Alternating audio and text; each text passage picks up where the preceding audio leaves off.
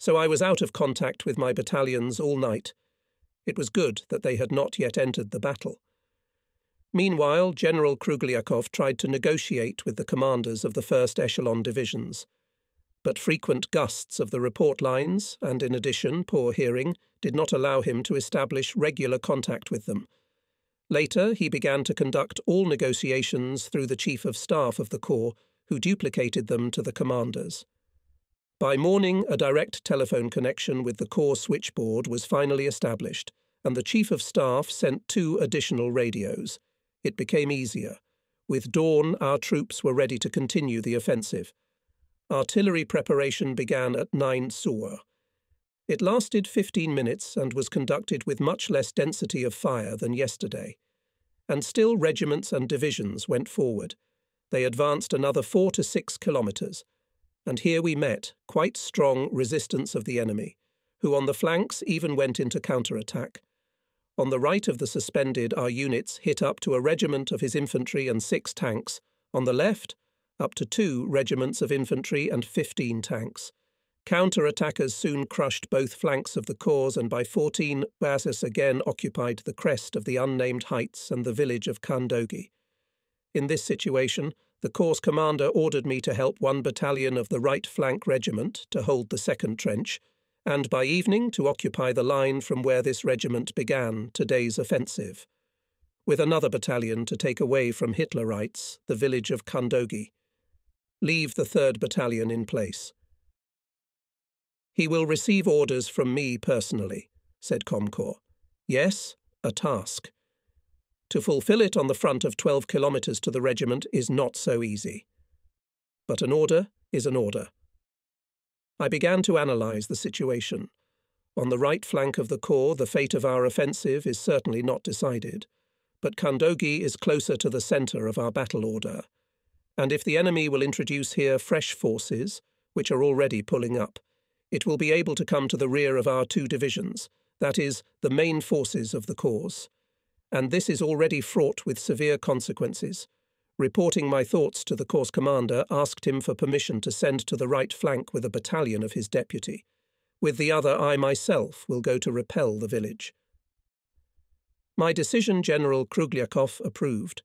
From the crest of the heights and from the side of the village of Kandogi, the enemy had a pretty good view of the area we occupied. And it was risky to move battalions along the front in front of his eyes, it would take a long time to get through the trenches and communication lines of the former German defences, and to lose time is to lose the battle. So solve, Commander, a problem with three unknowns. And yet he decided, the battalion, moving to the right flank, to withdraw first back to the neutral zone, and then already along the ravine, reaching the Dnieper, to reach the right flank regiment we needed. That's what I did but the 3rd Battalion, which was to take the village of Kandogi, still had to move to the initial position along the lines of communication. As a result, no matter how much the commander hurried me, no matter how hard I tried to speed up the advance of the battalions, it was not possible to do it before daylight. They took the initial position for the attack only late in the evening. The 3rd Battalion was now commanded by Captain K. K. Sirgabayev, a Kazakh by nationality, a young and rather energetic man. He had arrived in the regiment in October and remembered me by the originality of his report. I have the honour to introduce myself, Captain Sirgabayev. I have arrived at your disposal. He turned out to be a strong willed, knowledgeable commander, and yet I was worried about him. After all, now the battalion entrusted to him will have to knock the enemy out of the village, to help our withdrawn units to restore the situation the enemy, to all appearances, has considerable forces there. So, the night should be our ally, though. It will ensure the suddenness of the attack. The enemy is probably not expecting an attack now, confident that he's facing only the day's battered units. Night, moreover, will compensate for our lack of artillery. After all, except for the artillery and mortar batteries of the regiment, we have no more guns. And finally, the darkness will hide our forces which are certainly not more than the enemy. And we, acting boldly, assertively, making as much noise as possible at once, will create an illusion of our superiority. After all, as they say, fear has great eyes. By 21 Dozeo, Sirgabayev's battalion took the initial position for the attack in the fighting order of the regiment that withdrew in the afternoon. His thinning units would also assist us. The enemy was entrenched along the eastern edge of the village. We can even see the silhouettes of his soldiers against the background of burning houses. From time to time, enemy machine guns were strobing. Then in one, then in another place, single mines and shells were bursting. Captain Sirgabayev reported to me about the readiness of the battalion to attack. And you? I asked the lightly wounded commander, who now commands the rest of the regiment instead of the commander killed in the day. Also ready, he answered. Give the command, Sirgabayev.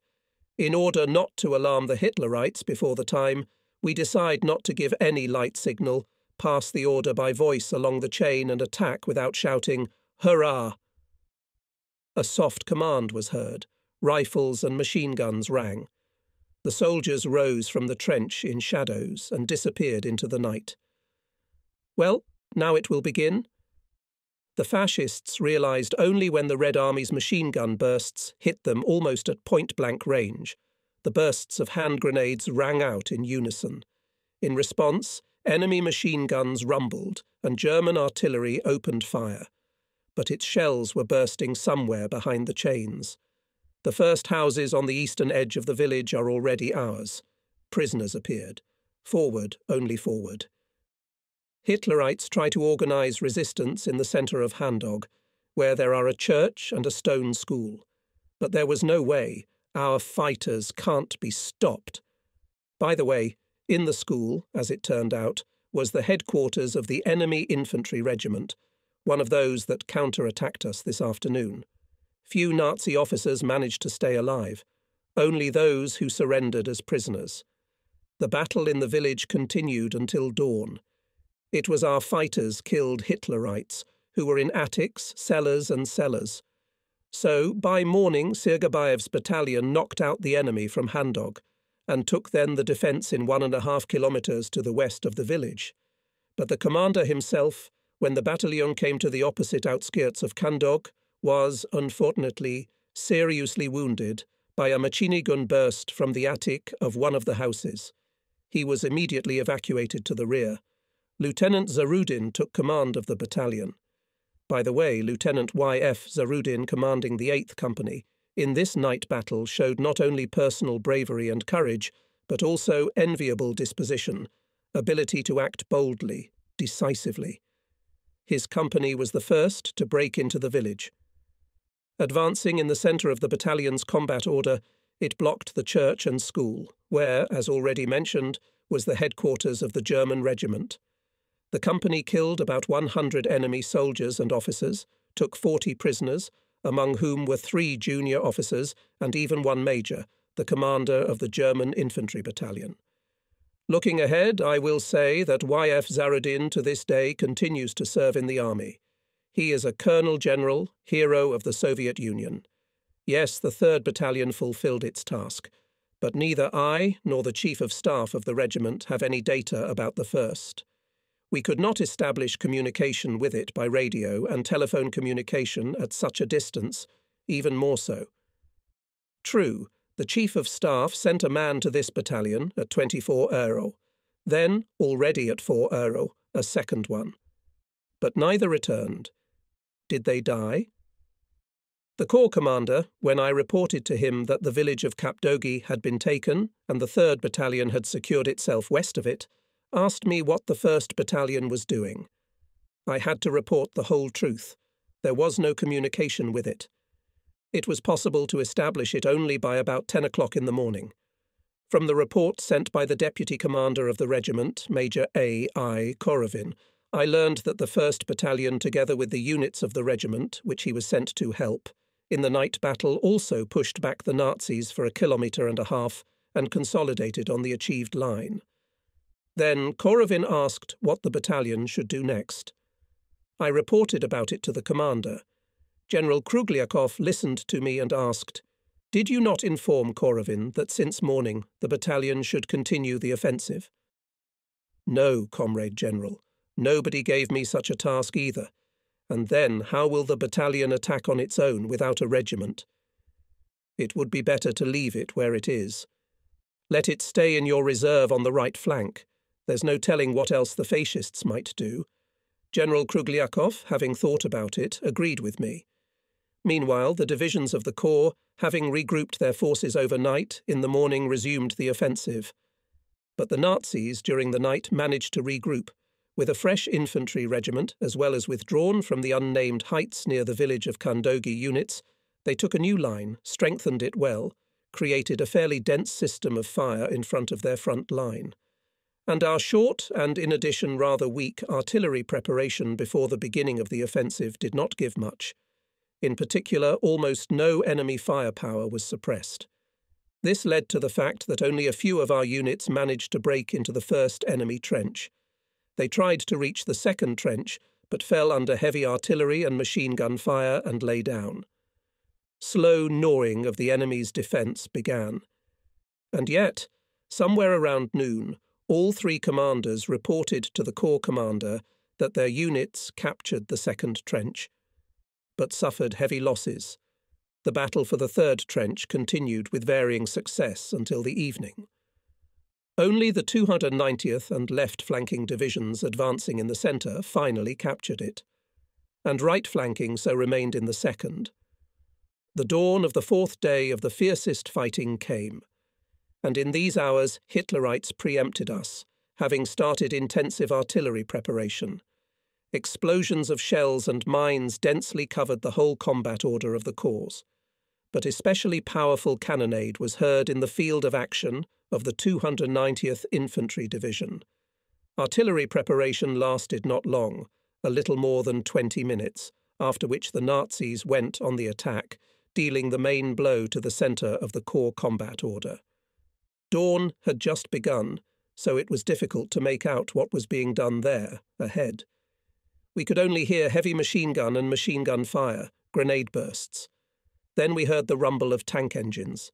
Soon up to a battalion of enemy infantry appeared in front of us. True, without tanks. Hitlerites were approaching by shuffling, obviously accumulating in the ravine for attack bypassing the village of Kandogi. In a few minutes, it became clear. The enemy, having broken through the combat order of the units operating in front, came out in the flank of the 3rd Battalion of Lieutenant Zarudin, occupying the defence west of Kandog and now trying to seize the village bypassing on the right. The centre of his battle order is aimed directly at my observation post, brought here last night. Ahead of the observation post, 200 metres away from it, is a company of machine gunners. There are three platoons of 18 men each. They are clearly not enough to repel the attack of almost a full German battalion. So, yes, we must let Lieutenant Zarudin know let him bend his right flank back a bit and hit the flank of this battalion, and the company of machine gunners will meet the fascists from the front. The radio operator quickly contacted Zarudin. Having explained to the commander the situation I had created, I told him, You see, in this case will be a kind of fire bag between your right flank and the company of machine gunners. Do it. As soon as the fascists attack, fire from all kinds of fire, got it? Yes, look, from your front strike do not miss the blow. Combat 3 quickly reorganized his right flank, reinforcing it with two machine guns. A company of machine gunners also prepared for battle. At this minute I was called to the phone.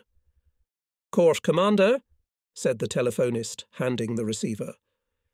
What do you see? asked Comcorps. I reported that I see up to a battalion of Hitlerites with three tanks on the heights in the strip of the 290th Infantry Division, and also in front of us, but without tanks. Part of our units are retreating. We must stop them, Krugliakov said excitedly. Do you hear me? Stop them. Raise the second battalion, immediately flashed a thought, and let him go in a chain to meet the retreating, stop and turn them back. Combater 2 to the phone, shouted to the telephonist. The commander of the 2nd Battalion, Captain G. V. Shliakovsky, arrived in the regiment from the hospital at the same time with Sirgabayev. I liked him for his modesty and business-like performance. Shliakovsky, do you see those retreating in front of you? I see them, Comrade Major. Raise the battalion and chain up to meet them. Stop everyone and bring them back. Got it? Got it. We can be calm. Shliakovsky will do everything right. At this time, the enemy battalion had already drawn into the firebag prepared for it and rushed into the attack. But a strong fire from the front of the company of machine gunners, machine gun fire of the 3rd Battalion from the flank immediately put the attacking chain on the ground. Hitlerites, who had not expected it, panicked and started to roll back, suffering heavy losses. Shliakovsky's battalion, advancing forward, meanwhile returned the retreating units and the unnamed heights in front of him were already occupied by the enemy. We had to stop in one of the empty trenches in front of the heights to prepare to repel further attacks of the fascists. I reported to Comcorps that the retreating units of the 2nd Battalion were stopped, and on the left by the forces of the 3rd Battalion and a company of machine gunners, one battalion of the enemy was defeated. Let the 2nd Battalion remain there, in front of the unnamed heights, Hold this trench at all costs, ordered General Krugliakov. Heavy fighting continued all day, and in the evening I was summoned by the Corps commander and ordered to take the unnamed heights by morning and report to him from there. I asked who would replace my 3rd Battalion, to which I received the answer, It will remain in place. Then give me the 1st Battalion to fulfill your task. No, the 1st Battalion will consolidate the line it's holding now. So we'll take the heights with only the 2nd Battalion, Comrade General? Yes, one battalion. And if you don't take. Krugliakov didn't finish, but I already understood what he wanted to say. So I answered, I'm not afraid of the court. But. The division surrendered the heights, and the battalion had to take them. There must be at least a regiment of fascists there. You'll have to figure out how to do it. You see what kind of situation we're in now. We can't get companies out of nowhere. And the heights, they're like an eyesore. So think, Homulo, think. I left Comcorps' dugout with heavy thoughts. Although, is it necessary to be angry with Krugliakov? For four days, the Corps can't break through the enemy's defence. The Germans are not only fierce resistance, but also continuously counter-attacked. Of course, it's not easy for Comcorps. He too, of course, was hit by the commander more than once during this time. But what to do? We're really running out of strength. So, I remembered Krugliakov's final words. Think, Komulo. Think. Yes, we must think of something. All my deputies were already gathered at the regiment's observation post. I informed them about the upcoming task. After listening to me, they somehow slumped. After all, each of them realized that this task for the battalion alone is hardly feasible. But they also understood another thing the order must be fulfilled. In the trench, we heard the stomping of feet and voices. Someone entered the dugout and said that they had brought the wounded commander of the 3rd Battalion, Zarudin. Let's bring him here, I shouted, and in my head I thought, who will command the battalion now? Zarudin was brought in on a trench coat. The bullet pierced his right shoulder and came out through his shoulder blade. Yes, the wound was serious. It put him out of action for a long time. Who will replace him? Zarudin? I came and leaned over the wounded man. Can you hear me?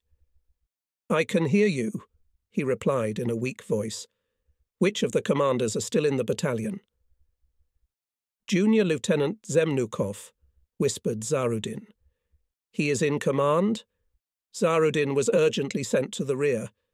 Junior Lieutenant, no, the 3rd Battalion should be assigned another commander. But who? What if? Captain Guriev, the regiment's intelligence chief. After all, the 3rd Battalion is in a very important direction, holds a favourable line. It needs a strong willed commander, someone like Guriev. Captain Guriev, I finally decide, go to the 3rd Battalion and take command of it. The task of the battalion is the same, not a step back. Stand to the death. Understood? Yes, Comrade Major. Understood. The commander of the 2nd Battalion, the commanders of the company of machine gunners and regimental batteries. To me, I ordered now already the Chief of Staff. When they arrived, I gave them the task. The starting point for the attack, the trench in which the battalion is now. Start the attack at dawn when the Hitlerites on the heights will be overcome by sleep. No hurrahs until we get to the first enemy trench within grenade throwing distance. The mortar company of the battalion from the evening to be located in the same trench where the battalion. As soon as its commander hears shouts of hurrah and grenade explosions, immediately open fire on the western slopes of the heights on the left. On the right will fire mortar battery of the regiment to cut off the way of approach from it reinforcements. To transfer the fire, the commander will personally signal the mortars with red flares. The commander of the regimental artillery battery also at night to roll the guns to the battalion. As soon as his companies seize the heights, quickly, in hand, two guns, on the right height, two, on the left. Set them on direct fire. The battalion commander to allocate the necessary number of men to assist the artillery men. Let them together with the calculations roll guns and bring to the heights boxes of shells. The commander of the company of machine gunners before and during the attack is with me, with the capture of heights to move the company to the battalion on the left height. Having finished setting the tasks, checked how the commanders understood them. After that, he let them go to prepare the units for the attack. He called the regimental engineer to him and gave him the task to mine the western slopes of the heights as soon as the 2nd Battalion captured them. The rain that had been drizzling all night had stopped by dawn, and a thick fog descended on the ground. This was to our advantage. As soon as in the east it was lightly greying, the battalion silently rose from the trench and moved to the heights. In spite of the fact that the Nazis now and then launched rockets into the sky, his companies immediately disappeared into the fog. Ten minutes passed, fifteen, complete silence. But here the fog spilled out of itself friendly grenade bursts, the cry of hurrah. Immediately our mortars opened fire. Automatic rifles rang out, machine gun bursts. The artillerymen of the regimental battery of Junior Lieutenant I. P. Lugovoy, who before this battle replaced Captain D. A. Chevontsev, who was out due to wounding. A. Chevontsev, on their hands, rolled their guns to the heights. They were helped by the gunners. Judging by the sounds, the battle had already moved to the western slopes of the heights. It was urgent to bring forward a company of machine gunners and consolidate the success of the battalion. I arrived on the crest of the heights together with the machine gunners. It had already dawned, the fog had visibly cleared. It became visible as about a kilometre ahead of the 2nd Battalion repulsed the Nazi counterattack. The regiment's mortar battery and the battalion's mine company were of considerable help to it in the atomic attack. Accurate bursts of mines cut several men out of the enemy chain at once. Another volley, another. In Hitler's chain, more and more gaps. But the fascists do not stop, do not lie down. With cries of Hoo! They are trying to overcome the barrage of mortar units to get closer to the battalion. I ran up to the battery of Junior Lieutenant Lugovoy. They have just set the guns to direct fire. True, two gunners are still fiddling with the bed of the first gun. One of them slips and falls. Faster, faster, guys! I shout to them and also pick up the left bed. Bot now both guns are ready to open fire. Lugovoy commands. On the infantry, a fragmentation grenade. The first shells of our batteries burst from behind the chain with a flight the second volley. Now the splash of two bursts rises already among the fascists. Several figures fall. Target! I hear the report of the senior on the battery.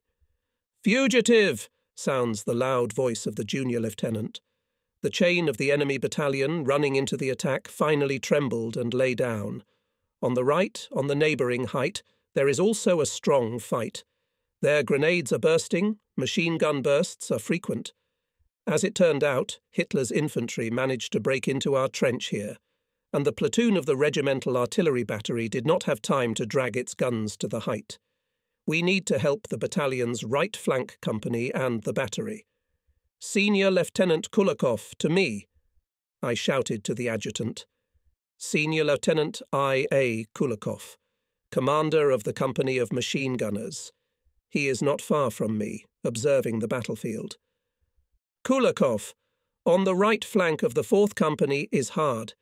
We must knock the Hitlerites out of the trench. Take your two platoons and try to hit the Nazis in the flank. And grenades? Use more grenades. Got it? Understood, Comrade Major. In front of us, the enemy chain is trying to get up every now and then, but after running a few metres, they fall down again. For some reason, the Hitlerites are not firing machine guns. They are trying to throw hand grenades. But they do not reach our fighters. Battalion companies also almost do not fire. I ask the commander why he shoots fascists so weakly. After all, they are almost near. He reports that the weapon is clogged with mud and it fails every now and then. That's what it is, and the Germans' machine guns are probably out of order. That's why they're throwing grenades aimlessly. At Etuasas, I reported the situation to the Corps commander. General Krugliakov listened to me and ordered to hold the heights at all costs. I again asked him for permission to remove the 1st Battalion from the right flank and pull it up here, because it was very difficult to hold the heights with one battalion and a company of machine gunners. General Krugliakov was silent, then said into the tube, I won't give you anything and don't ask me. But you were able to take the heights with the available forces. I could. And in the beginning, too. So hold on, Komulo, hold on, and hung up the phone. Hold on, hold on, I said to myself, and grinned unhappily. Senior Lieutenant Kulikov, meanwhile, had already started a trench battle on the right height. There I could hear grenade explosions, shouts of hurrah, and Hitlerites, squeezed from two sides by Kulikov's machine gunners and shooters of the Fourth Company, soon could not stand it began to jump out of the trench to withdraw, shooting back from the height. And the artillerymen at that moment accelerated the advance of their guns to the crest of the height, and soon, having set them on direct aiming, opened a quick fire on the retreating fascists. So, the height is in our hands. But will the enemy accept it? Hardly. Having regrouped his forces, he will again try to regain these favourable positions. And so it came to pass. At eleven odds, up to two of his infantry battalions without tanks, but under the accompaniment of fire of four artillery divisions at once climbed to the heights. Hitlerites again attacked both heights at once. It was seen how their officers with shouts ran behind the chains, waved pistols, pushed soldiers in the backs, kicked. The infantry again did not fire. Clogged with mud, German weapons failed at all. This caused the fascist soldiers additional fear, uncertainty in the success of the attack. Two volleys made our mortar company, and fell silent. Batteries of Junior Lieutenant Lugovoy also fired only two shots from each gun. There was no ammunition. They were used up when taking the heights and repulsing the first counterattack. And now, our rifles and automatic rifles rarely fired. The rifleman also kept every cartridge on the books. It remained only to wait for the moment when the enemy chain would approach the trenches to throw a grenade. And it came closer. Immediately, dozens of explosions covered with smoke the Hitlerites who broke forward.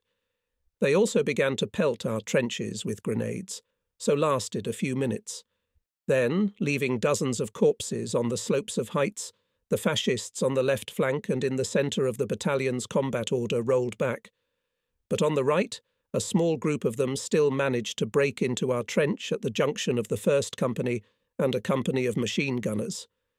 And up to a platoon of infantry, having passed the trench, rushed to the crest of the height where the guns of the regimental battery stood. And then Junior Lieutenant Lugovoy, having turned his calculations in a chain, bravely led them to the enemy. I personally saw how he smashed the head of a Nazi officer who had attacked him with a gun bannock. Having destroyed the Hitlerites who rushed to the guns, the battery men together with shooters and machine gunners began to beat the fascists out of the trench. And they did. But not from all of them. Up to two platoons of the enemy still settled at the junction of the trench and the passage of communication going to the rear of the Germans, having rendered stubborn resistance. Several of our attempts to dislodge them from there were unsuccessful. The battle had already lasted several hours, but for how many more hours or even minutes will be enough ammunition in the companies? This thought did not give rest. It was at this moment and ran to me and Adjutant Lieutenant Suslov, joyfully reported, Ammunition brought, Comrade Major. Where? I turned to him. Victor pointed at the soldiers, headed by a petty officer, approaching to the NP in the course of the message. They were carrying ammunition boxes. Petty officer, to me! I shouted. He ran up. I recognized him as the commander of the utility platoon from the 2nd Battalion. How much and what kind of ammunition was delivered? There is ammunition, the petty officer started to report. And grenades! Do you have grenades? A little bit. How little? How much? Yes, with a hundred, probably, will be, hesitantly answered the platoon commander. Just that? It's a drop in the ocean. But, tell you what, petty officer, do you see that high rise over there? I pointed to the right. That's the fourth company, the machine gun company, and the regiment's artillery. All the grenades you've got, Get them over there. It's urgent. Pass it on. Come here and report to me. Got it? Understood, Comrade Major. Do you need ammunition too? And some ammunition, of course, but every single grenade over there. Yes, one more thing. Did you bring the mines for the mine sweeping company? That's right. Now they're unloading them at the firing line shouted the petty officer, already running away with his men. A few minutes later, I was called to the radio by the Chief of Staff of the regiment, Major Nikitin. Reported that the Corps commander still allowed to remove the 1st Battalion from the right flank and use it by decision of the regiment commander. That is mine. How long does it take for the battalion to arrive here? I asked the Chief of Staff. Not less than three hours, he replied. Get him here faster and make the Chief of Armament bring ammunition and more hand grenades for him. Although the 1st Battalion would not be here soon, but it immediately became easier on the soul, the hope that everything would work out with its arrival. The last, third attack was launched by the enemy at dusk. He started it without fire preparation, without noise and illumination of the area. In short, he tried to copy our morning attack on the heights. But it didn't work. We fought back relatively easily this time. The situation has changed only on the right flank, where, as already mentioned, in the daytime there were up to two platoons of enemy infantry. Now, of course, there were more fascists there. Taking advantage of the message passage, which led to their rear, they accumulated on the flank until darkness, and with the beginning of the attack from the front, they squeezed the 4th Rifle Company and seized several dozen metres of trench. They installed machine guns there and began to shoot the rear of the battalion. It is necessary to knock out the fascists from there by all means, only if the 1st Battalion would come sooner. But it's still not here.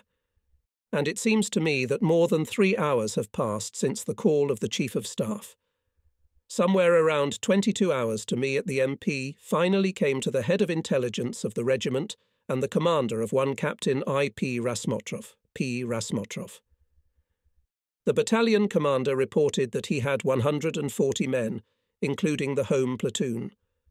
In rifle companies, on average 30 soldiers, ammunition is available, people are fed. Immediately I put Rasmotrov task before morning to knock out the Nazis from the trench on the right flank, entrench there and be ready in the morning to repel repeated counter-attacks of the enemy. The 4th Company and two platoons of automatic riflemen to change and withdraw to my reserve. At 23.30 I was called to the phone acting commander, Colonel S. E. Klimakin. He informed me that my 885th Rifle Regiment is again subordinated to the division and that our task remains the same to restore the position on the right flank and firmly hold the occupied heights. The 878th and 802nd Regiments have suffered heavy losses. Now they are cleaning their rear, leaving the minimum number of personnel in them. The rest are being put into service. The division is ordered to go to the defence, as the commander believes that the goal of the offensive is largely achieved. In conclusion, Klimakin recommended, and me tomorrow morning, to replenish the companies at the expense of the rear units of the regiment. I, in turn, asked him to replace by someone our 3rd Battalion, which currently holds the village of Kandogi on the left flank of the division. I justified my request by the fact that between the main forces of the regiment and this battalion, there are two other regiments of the division, and this makes it difficult for me to control its units. In addition, I need the 3rd Battalion here for the defence of the dominant heights. Colonel Klimakin promised to look into everything and to report his decision later. Not even an hour after this conversation, as the Chief of Staff of the regiment radioed that by three Zhao Mi and the division commander calls Major General Krugliakov. His command post, said Major Nikitin, is in the same German pillbox in which he came to us on the first day of the offensive. The call to the Corps CP, which I knew was six kilometres away, was very unfortunate. After all, the 1st Battalion is preparing to restore the position on the right flank, and I Something had to be done. Or maybe the commander would give me a new task and it would be better to hold the 1st Battalion for the time being, not to introduce it into the battle. That's what, after thinking, I said to the Chief of Staff Come to me, we need to discuss the situation together. Meanwhile, the 1st Battalion has already started a fight on the right flank. We heard heavy machine gun fire, grenadiers began to burst, the Germans began to illuminate the area. Soon the shooting spilled over to the entire section of the regiment's defence, then even further. Hitlerites became alarmed. Apparently they thought that our units at night went on the offensive on a wide front. It became light, almost like daytime, from flares continuously soaring into the sky. Tracer bullets lightning pierced the night darkness. Artillery rumbled on both sides, mortars rumbled. Telephones rang, radio stations started working, requesting the situation down below. Colonel Klimakin allowed me to. What is going on there? he asked, reported that the 1st Battalion fulfills the order to restore the position on the right flank, and the Nazis are scared and opened fire everywhere, fearing that our troops will go on the offensive in the entire area of the breakthrough. In this situation I cannot leave here, I said Klimakin, and the time to go to the Corps commander, so as not to be late. I will report to General Krugliakov, he answered me. In the meantime, the firefight was growing and then fading. The 1st Battalion had cleared the trench, but now the Hitlerites were firmly holding the communication passage going to their rear. And this passage of communication was like an eyesore for us. It gave the enemy the opportunity to secretly bring their units to our front line and suddenly attack the right flank. It was necessary to knock them out from here as well, and then to block the way with slingshots made of barbed wire and to mine it. The regimental engineer made such slingshots in the afternoon, prepared and anti personnel mines. And now the sapper platoon was waiting to get down to business. Indeed? When? More than an hour passed, and still no call from the division commander. I had to contact him. I cannot get through to the corps commander, said Klimakin. And how are you, situation? The battle is hot, from the trench of the fascists knocked out, but they are firmly entrenched in the course of the message. If they are not smoked out of there now at night during the day, they will use it to prepare their counterattacks. That's what happened yesterday. I see. But you still leave the Chief of Staff, or your deputy in charge, and go out yourself. And why does the commander call? I asked Klimakin. I do not know. He did not tell me anything when he called. Take a map just in case. Maybe there will be some changes. And come out quickly, or you'll be late. Major Nikitin, Chief of Staff, was next to me. Here's what, Alexander Artemovich, I told him. The 1st Battalion knocked the Nazis out of the trench, but it's not enough. It is necessary to eliminate them in the course of the message and mine it. Regimental engineer got the task. I'm leaving for Comcorps. You stay for me. Take command. If there are any changes, I'll try to call you. Taking Lieutenant Suslov with me, I went to the commander's office, winding my way through the communications. On the way, we got somewhere in a dead end, quite apart from the CP of the Corps commander. By the time we found him, Colonel Klimakin was there with the staff of the division's operational department. Well, you walk slowly, reproached me Colonel.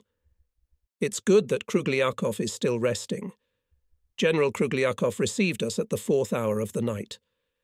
After listening to Klimakin and then me about the situation, said that we received an order from the commander to stop the offensive because its goal has been achieved and move to the defence.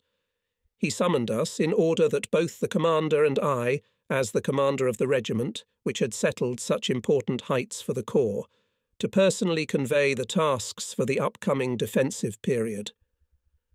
And I sent other commanders a written order, said the general. We stayed at Comcorps Place for a short time. About an hour later, I was already walking with the adjutant in the opposite direction, thinking about the words of the Corps commander. The goal of the offensive has been achieved. How to understand it? After all, the Corps attacked for more than a week and advanced by only six or eight kilometres. Was such a goal really pursued? I got the answer to this question a little later when the summer and fall campaign of 1943 was over. When, as a result of the victory of our troops in the Battle of Kursk, the offensive was launched on the entire strategic front, and especially in the south of our country.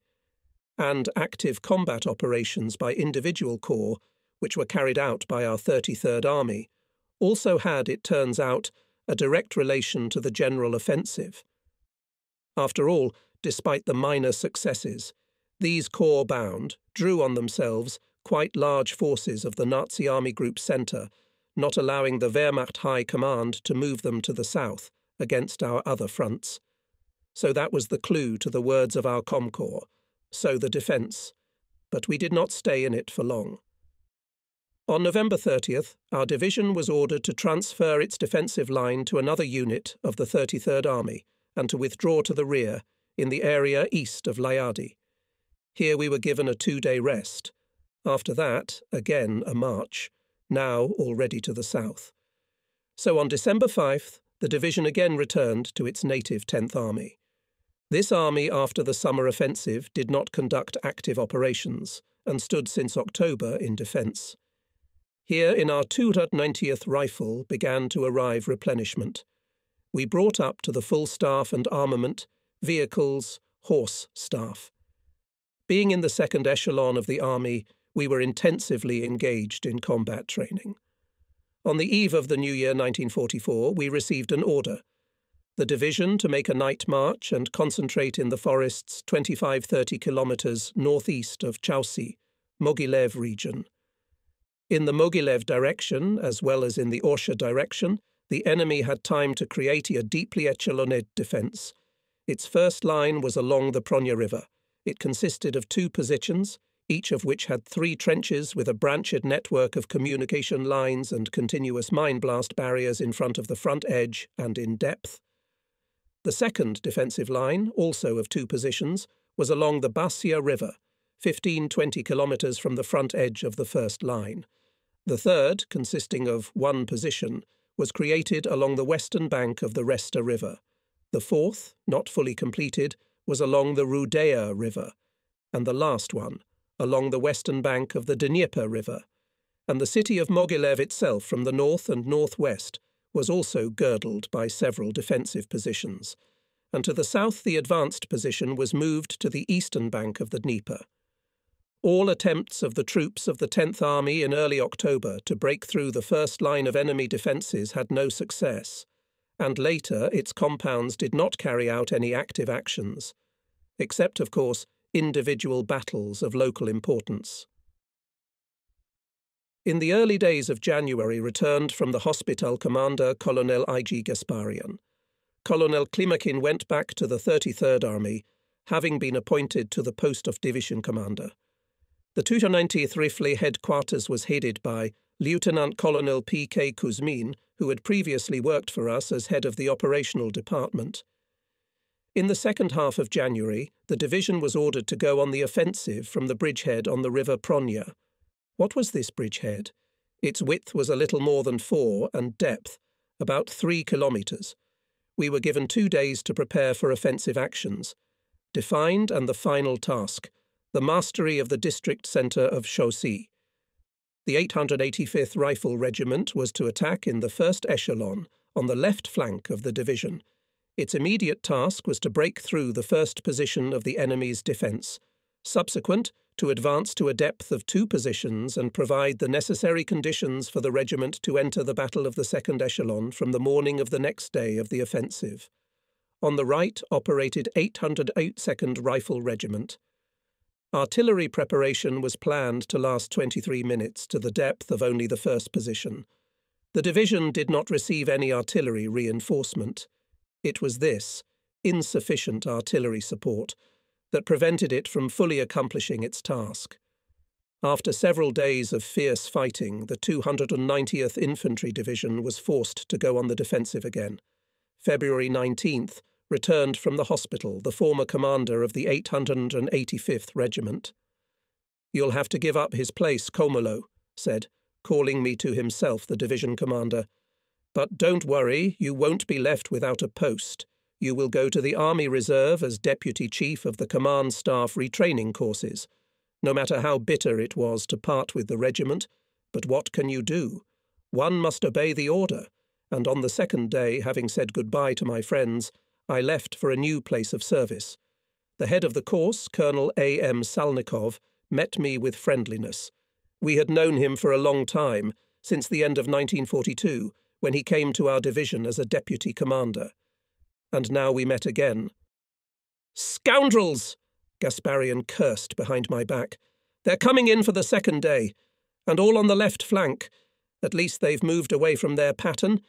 Yes, the picture on the left flank is even worse. There's no sign of snow here at all. A field black with craters and soot densely strewn with corpses. And this height must have changed hands several times. On its eastern slopes there are two burnt tanks behind them, two of our pounded guns. Here the soldiers also sit one or two at a time in the craters and fire. Is the situation clear? asked the division commander when I finished the inspection of the area. Clear, Comrade General. Then go to the regiment. A liaison officer will guide you. He has been there several times already. Take command and don't take a step back. Gasparian looked intently into my eyes and once again shook my hand in farewell. This is the second time I have to take over the regiment during the battle, and who has experienced it at least once knows how hard it is to get into the situation from the start, to make a decision without knowing either the enemy or even their own, who are near you at the regiment's base, not to mention platoon leaders, company leaders, combatants, but there is a word as short as a shot. It is necessary. We reached the regiment's observation post together with the liaison officer, sometimes by running over and sometimes by crawling. At the observation post, we found the Assistant Chief of Staff of the regiment, the Chief of Intelligence, and an artillery captain. To my question, where the Deputy Commander of the regiment, Pomnak Staba replied, Wounded recently sent to the medical centre. And the Chief of Staff? He is at the command post. And where is the command post? Pomnak Staba hesitated. Then he answered. On the other side of the river. What combat units are near it? None. They're all here. There's the rear. I was surprised at this state of affairs. So who was in charge of the battle here? After all, several counterattacks were repulsed, and the commander is the chief of staff? And the chief of staff? All right. For now, we need to at least understand the situation. I'm turning to the chief of intelligence. I'm ordering report on the enemy. Senior Lieutenant Zagainov, he introduces himself, then reports, against us operates at least one and a half regiments, and units in them from different divisions in front of the right flank of the regiment, for example, and further to the neighbour, battalions from the 323rd Infantry Regiment of the 63rd Division, and from about the middle of our defences, and to the left to the grove on the heights, the 96th Infantry Regiment of the 46th Division. Taken prisoners and documents of killed enemy soldiers confirm these data. This division came up here on the night of February 24th, and from the morning of the 25th began to counterattack on a wide front. One of its regiment is found on the right flank of the bridgehead, in front of parts of the 326th Infantry Division. I do not understand how this 46th Division acts, I said to the senior lieutenant. One of its regiments here, the others to the right, and between them, parts of the 63rd Infantry Division. Very simple, Comrade Major. The Nazis apparently hoped to counterattack from the flanks, along the direction converging in the centre, on the first day to dislodge our division from the bridgehead. Therefore, and built their combat order so that the main forces of the 46th Infantry attacked at the junction of the two divisions, our and 326th, and one regiment struck here on the left flank. From the front, the 63rd Infantry Division, which is less effective, was holding back our attack. I see. By the way, the 63rd Infantry is an old acquaintance of ours, I told Zagainov we beat it back in December and January. Here's what, Scout. I think that Hitlerites will regroup at night to resume counterattacks in the morning, get the tongue, and take him in front of our left flank. Understood, Comrade Major. And who will report on the combat and numerical composition of the regiment? I asked. Allow me, Comrade Major, stood up Assistant Chief of Staff of the regiment, Captain A.K. Mironov. There is no exact data on losses for today. We will have them by 22 hours. But I tentatively believe that in the companies remained no more than 22 23 active bayonets. All three battalions have been operating in the first echelon since yesterday. In the reserve company of machine gunners in the number of 60 men. The battalions are the first on the right flank, in the centre, the third, it was introduced into the battle yesterday morning, and on the left, the 2nd Battalion. It is the one that has suffered the greatest losses today. On it came almost all the counterattacks. With this battalion must be dealt with especially, I ordered Mironov, and the faster the better. Make a separate decision on it. Understood. Acting Chief of Artillery Regiment Captain A.S. Chudov reported The regimental artillery battery has only three guns. We use them for firing from closed firing positions. Why? The regiment has almost no divisional artillery, only one cannon division, and in the first echelon there are three battalions.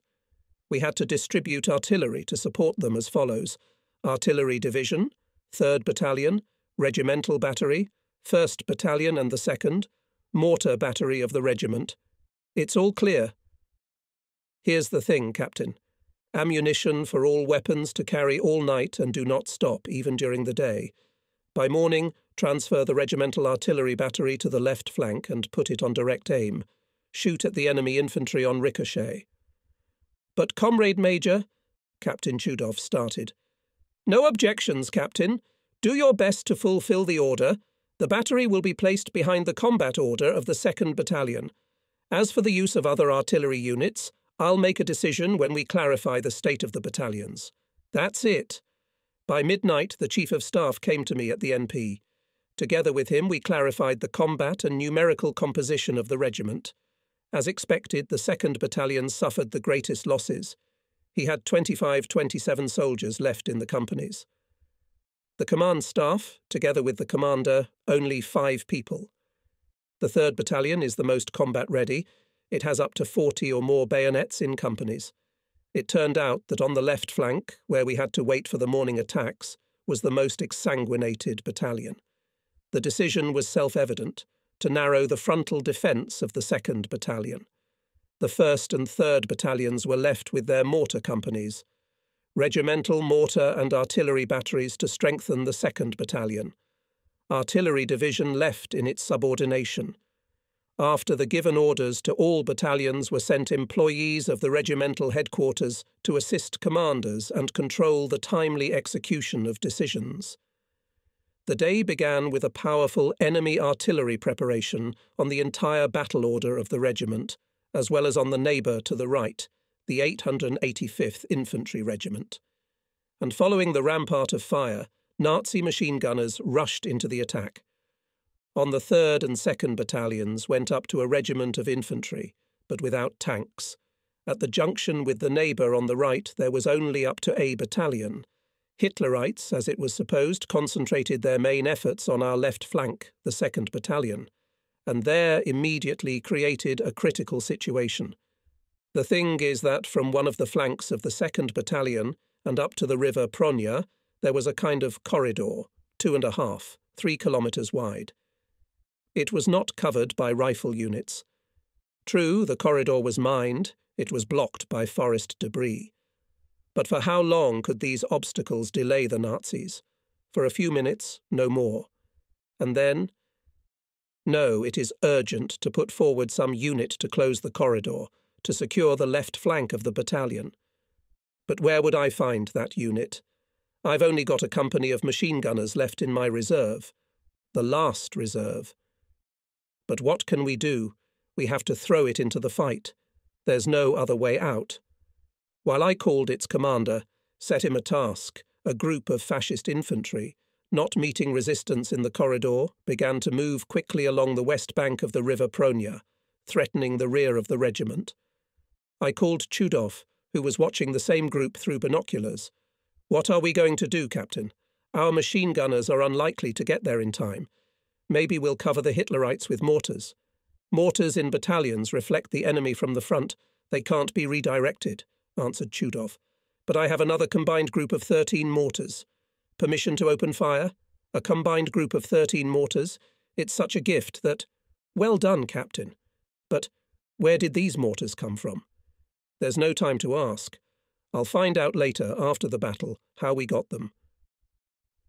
Chudov himself will tell that yesterday, being at the firing positions of his mortars on the eastern bank of the river, he met eight mortar detachments that had broken away from their units. And until the location of the necessary regiments decided to keep these calculations at his place, temporarily including them in the battery of 120mm mortars of our regiment. But this, I repeat, Captain Chudov will tell after the battle. In the meantime, I, madly delighted by the presence of this combined group, ordered to open fire on the fascists who broke through the corridor. Chudov quickly contacted her by telephone, gives the appropriate command. And now I see first single, and then a whole series of bursts in the fighting order of the enemy infantry coming to our rear. It begins to suffer losses, slows down the pace of advance. Well, more fire, and Chudov understands me without words. He makes the necessary adjustments for the mortars and commands. Fugitives, fire! I do not take my binoculars from my eyes. In front of the enemy chain lies more than a dozen ruptures, then another and another. Hitlerites can't stand it any longer, they start to turn back. But it's too late. Our automatic riflemen are running in front of them, firing on the move. In a few minutes, the corridor is already blocked. The group of fascists that broke through is cut off from their main forces. By 12 o'clock, the group was finished. The commander of the company of machine gunners reports over 40 Hitlerites killed, 11 captured. Our losses are minimal. Only now I find time to ask where we got a combined Ming group. And when I find out, I frown. I'm ordering Captain Chudov. Immediately send someone else's mortar crews to their units. They're probably looking for them there. Let them not lose them, tries to justify himself. It's the fault of those who got lost. They'll be charged. And you. I hope it won't happen again, right? Good. Yes, one more thing. Give these mortars some kind of document, a receipt that they fought with us, or they'll be put on trial in their regiments. By the way, since that memorable day, the fascists did not bother us any more. We did not take active actions either. So it went on until March 3rd, and on the night of the 4th, having transferred the defence of the bridgehead to parts of the 326th Division, our 290th Rifle was withdrawn to the second echelon of the army for rest and replenishment. In 1944, the Red Army was tasked to completely cleanse the Soviet land from the Nazi invaders and then help the peoples of Eastern Europe to free themselves from Hitler's slavery. the General Staff developed the Operation Bagration. The main blow Stavka of the Supreme Command planned to strike in the western direction, the shortest way to the borders of Hitler's Germany. The encompassing position of our troops in Belorussia in relation to the German fascist army Group centre contributed to the success of this offensive operation. By this time, three Byelorussian fronts were created. The previously existing Byelorussian front was renamed the First. On the basis of the headquarters of the 10th Army, the headquarters of the 2nd was formed, and the Western Front was renamed the 3rd Byelorussian Front. Our 290th Infantry Division became part of the 70th Infantry Corps, commanded by Major General V.G. Terentiev. As already mentioned in the previous chapter, during March the division units were restaffed with personnel and weapons. And from the first days of April began scheduled combat training. With each company and battalion was held several tactical and formation classes and tactical exercises, including live firing. In June, the regiments began combat training, which ended with regimental exercises with live firing of artillery, tanks, and small arms our regiment was staffed with good battalion and company commanders. Thus, our combatants were Capt. P. Kearney, M. I. Pyatirikov, and Y. M. Dvuzhilny. I cannot help but remember with a kind word such commanders as L. K. Miranov, M. M. Zagainov, I. M. Terentiuk, M. I. Korsunsky, P. S. Grishchenko, A. S. Mayakin, A. B. Goldberg. Basically, the command staff of the regiment was already hardened in previous battles, and only a small part of the platoon commanders arrived to us recently, after graduating from junior lieutenant courses. But many of them, as it turned out during conversations, before entering these courses also had time to fight in the positions of squad leaders and pomcoms of Zhodov. In short, smelled the gunpowder. Yes, the personnel of the regiment was preparing for the upcoming battles hard and persistently. After all, everyone perfectly understood that you can beat the enemy only when you perfectly master the science of victory. And they studied and studied. The sappers, for example, worked tirelessly on their own equipped engineering camp, again and again practicing techniques in making passages in minefields and wire barriers of the enemy, installing explosives, rubble. Battalion and regimental artillery, men practiced reconnaissance of targets and hitting them with direct fire. Rifle companies practiced in the field, deployed and rolled up, moved through passages in mine and wire barriers, friendly attacked the conditional enemy, learning to fire with automatic rifles and handheld machine guns on the move. The radio operators were practicing to quickly get into communication and to switch to new waves and all this training was completed, as mentioned above, battalion and regimental tactical exercises with live firing. Regimental exercises, held from June 1st to June 10th, were one sided. Each of them lasted three days. The target situation was created at a depth of up to three kilometres. For the period of the exercises, the regiment was attached to two artillery divisions, for which the target situation was also created. The regiment fired one rifle battalion, the attached artillery, the battalion's minesweepers, and the regiment's mortar battery.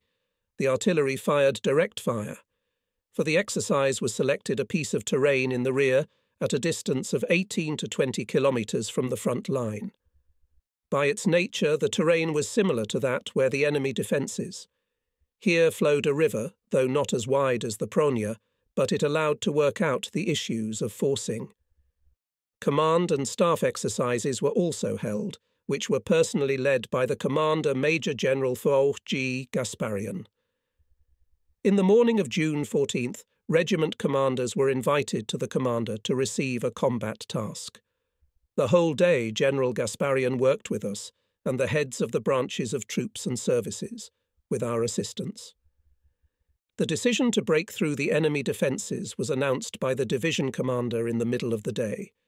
The terrain on which to act coincided with the one where our classes on commanders training were held. Only the right border of my regiment, the same as the division, included in the offensive zone Square Grove, at a distance of one and a half kilometres from the front edge of the enemy defences.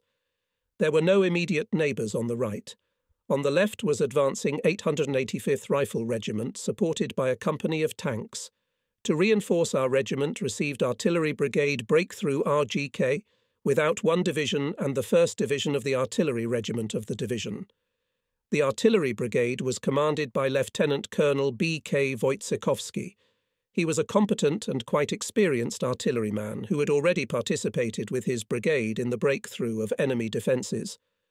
We were allocated and two sapper companies, whose task was to make passages in the barriers, the passage of troops through them, and the subsequent accompaniment of infantry and artillery in the offensive. One last thing. For the period of artillery preparation, the regiment was assigned a battery of self propelled artillery units to destroy bunkers on the front line of enemy defences. It consisted of five SAU 152, on the morning of June 15th, the division commander scheduled a reconnaissance of the area and warned that it would be attended by the Army commander, Lieutenant General C.A.T. Grishin, and the Corps commander, Major General V.G. Terentiev. Since the commander planned to start work at 10 Sierrost from the site of our regiment, I and my officers should have conducted reconnaissance even earlier from dawn to have time to get data on the enemy in the breakthrough area from the headquarters of the part that stood here in defence. Yes, and personally to study the terrain, the outline of the front edge, to determine the strongholds in the enemy's defence, the approaches to the river and places of access to its opposite bank. It's good that in the second half of June is the shortest night and the longest day.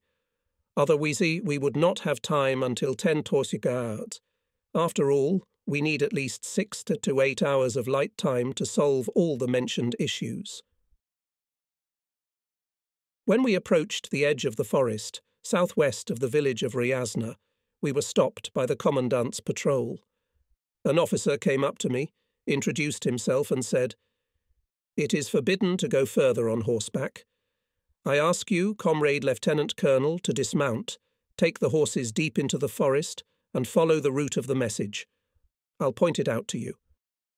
This was one of the measures of the Army headquarters, which strictly monitored the observance of all its instructions on camouflage and secrecy of preparation for the offensive.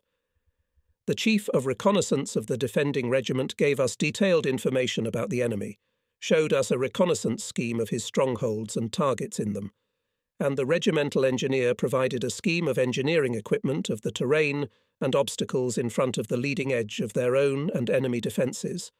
All this made it much easier for us to conduct reconnaissance. By ten o'clock in the morning, the decision to attack the regiment with the appropriate calculations and calculations for its justification was basically ready. Now we could meet the High Command and report to him. Exactly at ten a dapper and trim captain came out from behind the bend of the trench with a quick step. Behind him appeared a group of military men. On their somewhat bulky figures, a simple red army uniform. This is also an element of camouflage. In front went Commander Lieutenant General I.T. Grishin. Next, the commander of the 70th Rifle Corps, Major General V.G. Terentiev. Then, our commander and five senior officers. After greeting us, the commander took binoculars and began to examine the terrain in front of the enemy defence at the same time listened to the explanations of the Chief of Intelligence Corps.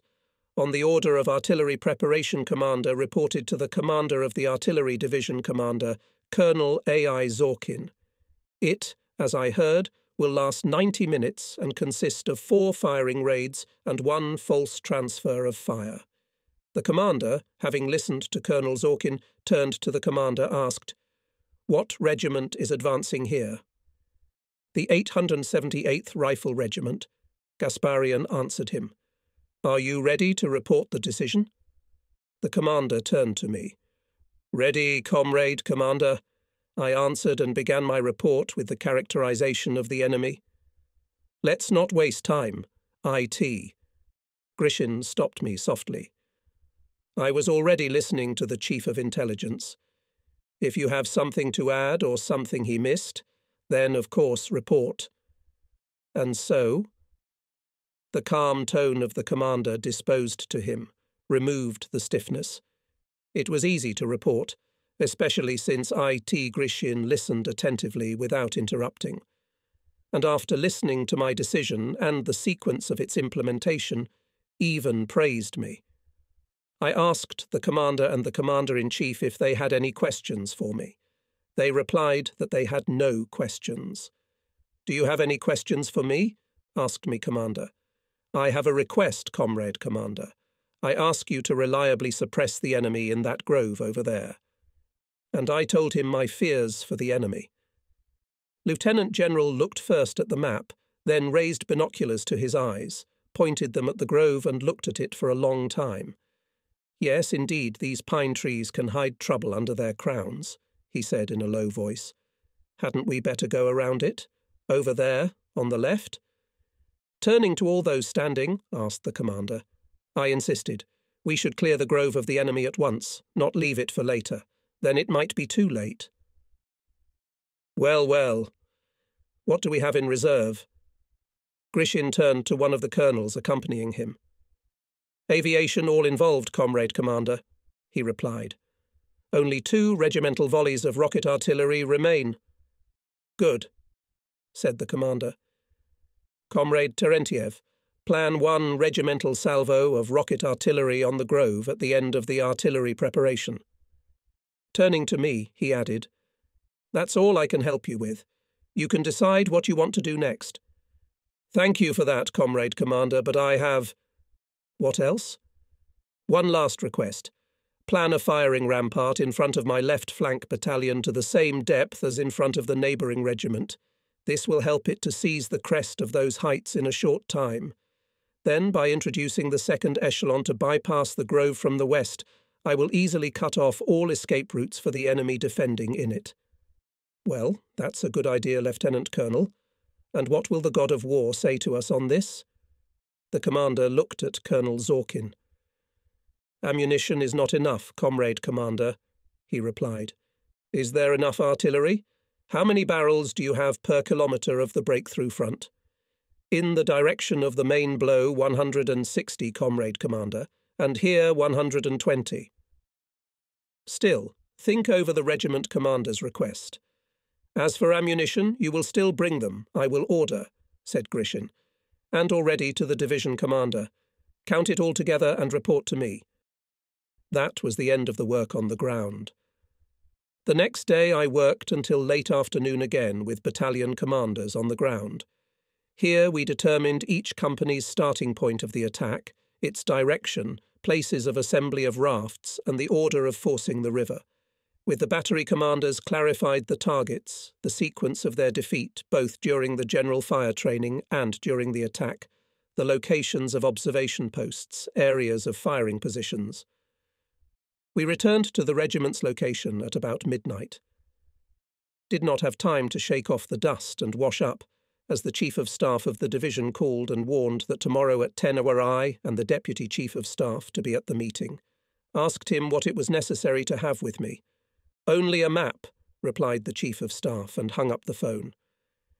A lot of people gathered for the meeting, in a large tent where we went in with Major G.T. Petushkov, on the wall, from the ceiling to the floor, hung a huge map.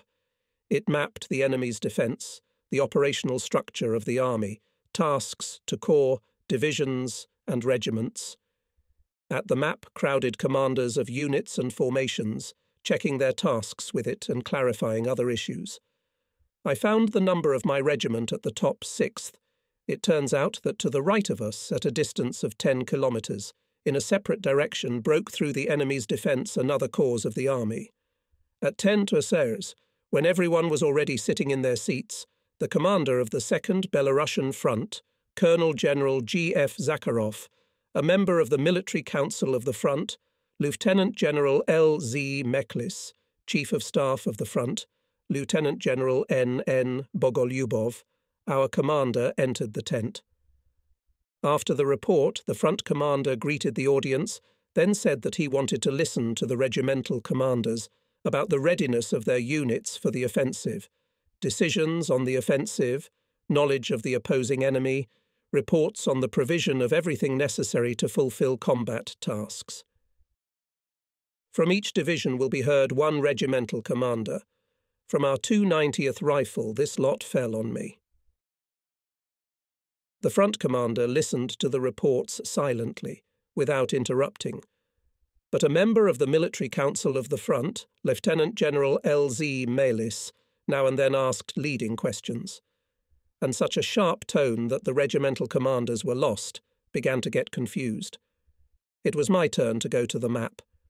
Taking into account the remarks made by Mekhlis to the speakers before me, I had already figured out in my mind a more or less consistent presentation of the necessary material, justifications for the disputed places.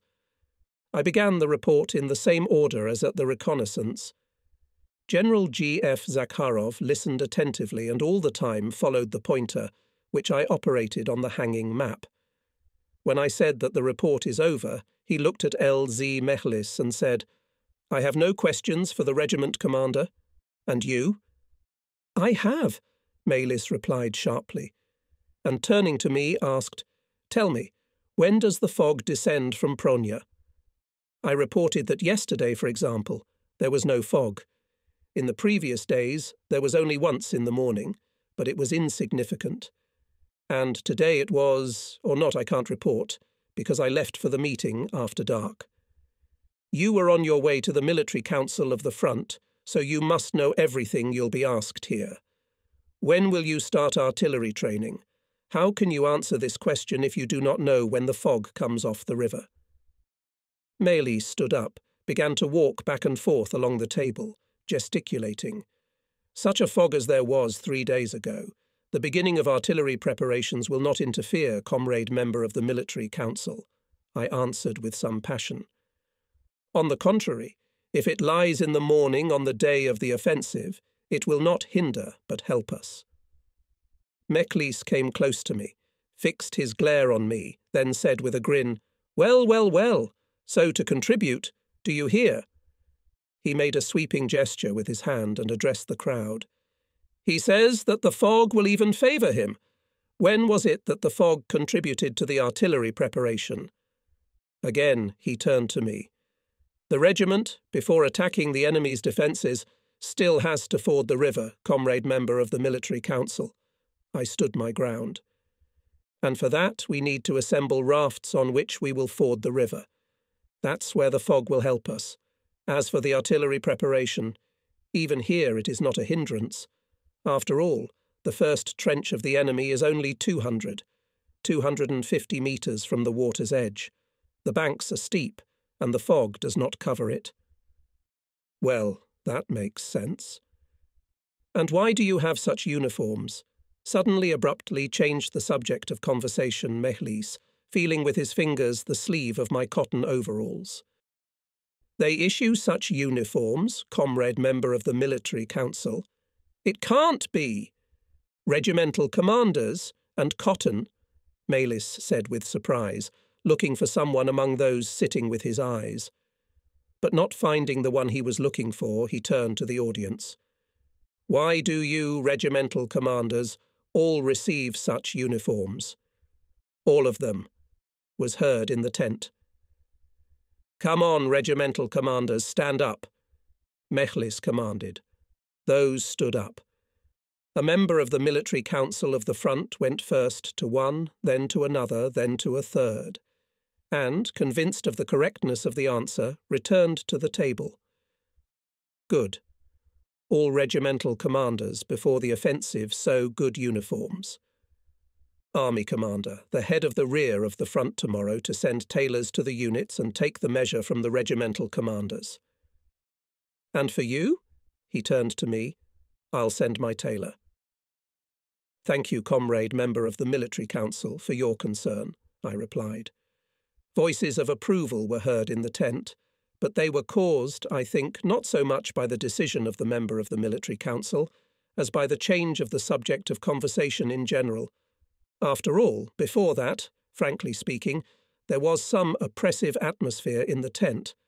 By the way, L. Zid Mekhlis was soon recalled by the Stavka to Moscow, and instead of him, Lieutenant General N. E. Subbotin, a fine soul, an excellent educator, and a senior comrade, with whom I was to meet later, far beyond the borders of Belarus, became a member of the military council of the Second Belarusian Front.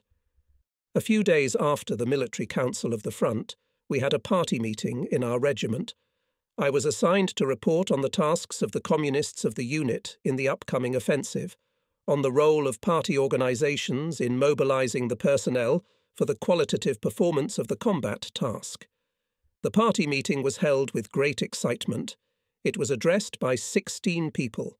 Among them were the commanders of battalions and companies and deputies on political part and just fighters communists. All excitedly talked about the sacred duty of every member and candidate for membership in the All Union Communist Party to be always a ahead, in the line of fire, by personal example to inspire the soldiers of the regiment to exploits for the liberation of the motherland from the Nazi invaders. Then there were battalion meetings of the personnel, reports on them made by senior officers of the regiment. Many fighters and junior commanders spoke at the meetings. From all the speeches, it was clear that the mood of the personnel fighting, and it was pleasing. On the night of June 23rd, the regiment took the initial position to go on the offensive.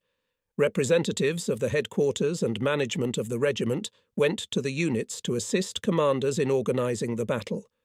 We and the commander of the Breakthrough Brigade, Lieutenant Colonel B. K. Wojciechowski, after the battalions went to their own directions, took the observation point, prepared by the regimental sappers in the first trench of the previously defended here part. Once again, we clarified the targets identified by our scouts discussed the order and time of their suppression.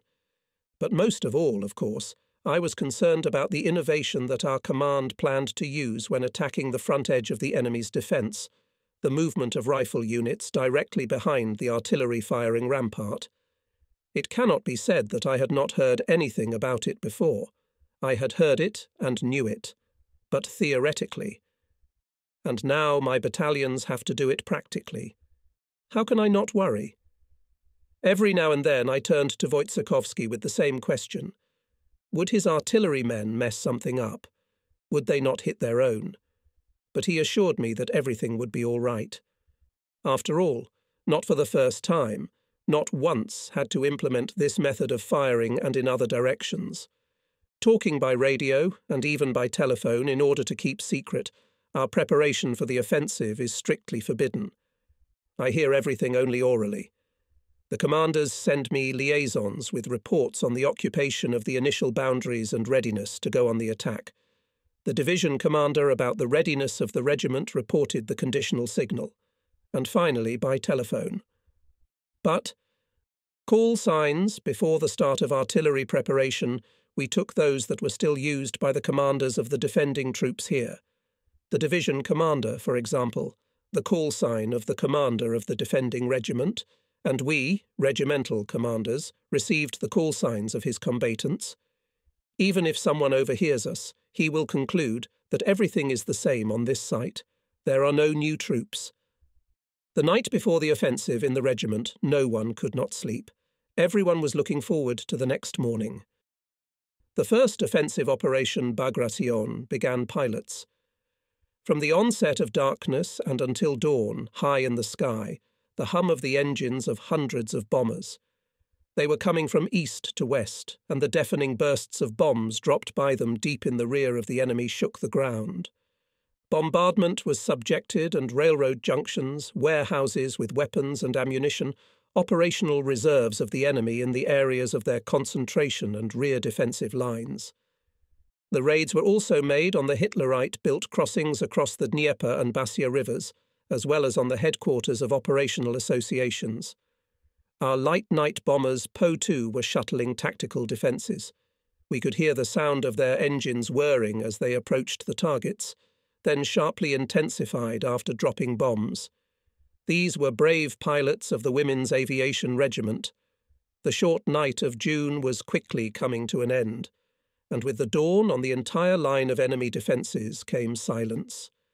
Machine gun bursts were silenced, methodical artillery bombardment of the area by squares, and our rear stopped. Do Hitlerites really do not guess about anything? There is a small haze over the Pronia floodplain. It's not a fog, but still. Under its cover, in an hour and a half, battalions of the first echelon will start to force the water barrier and accumulate for attack on the opposite bank. At 6E, they synchronized their watches according to Moscow time, before the beginning of artillery preparation was still 37 minutes, and the attack is scheduled for 9Z. I was notified of this in writing by the division commander, and not in advance, but only two hours ago at 4 year. I informed the battalion commanders of the time C through representatives of the regimental headquarters at 5 CO. Five minutes before the start of the artillery preparation, Lieutenant Colonel Wojciechowski also got in touch with his divisions for the first time and ordered charge and report. In turn, I called the combatants, in turn to the phone, once again asked them about their readiness, reminded them about the beginning of the advance to the river at the same time as the first bursts of shells in the enemy's defence zone.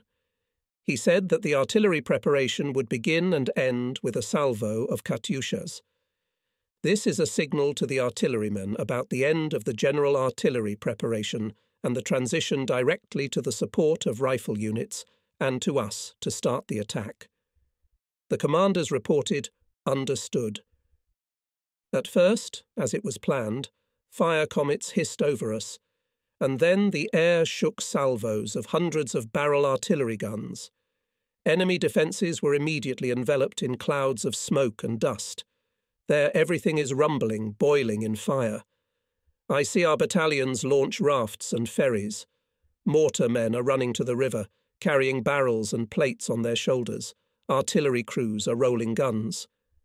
Liaison officers in groups of two or three people rushing from the NP to their battalions, unwinding the wire.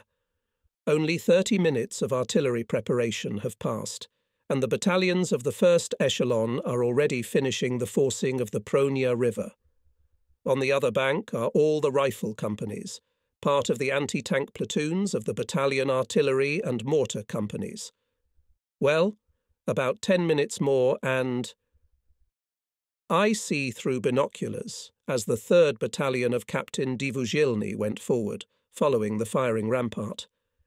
Wojciechowski's divisions were firing jewel like, putting shells literally 300 to 350 metres ahead of the battalions. Under the cover of this rampart, our chains have already approached the first enemy trench, pelt it with grenades, and, not staying here long, with shouts of hurrah, hurry to the second, and here is the third trench of the Hitlerites. The third battalion is attacking it, and in front of it is that unfortunate grove, on which the regimental salvo of Katyushas is planned. But what is Dvuzhilny? Why does not stop the companies? Is he carried away by the battle, or. I'm trying to contact him by radio. No answer. Wounded? Killed? What should I do? Report to the division commander and ask him to stop the Katyusha strikes on the Grove. Will I be able to do that? No. I have to stop the battalion myself. Good thing there's already a pontoon bridge across the Pronya River. The car! Hurry up! The car! I shout to the adjutant and, already to the Chief of Staff, Major Gladkey, you stay here, manage the 1st Battalion, I'm going to the 3rd. In a few minutes we are already on the other bank. The driver is squeezing out of the engine of the Willys everything he is capable of. But the funnels, trenches, message lines are in the way. The 2nd Battalion in a few minutes will hit the enemy from the rear. Can you support him with fire? I asked him. I can, Balavas answered confidently. Now I will contact Lieutenant Colonel Wojciechowski and adjust the fire of one or two divisions.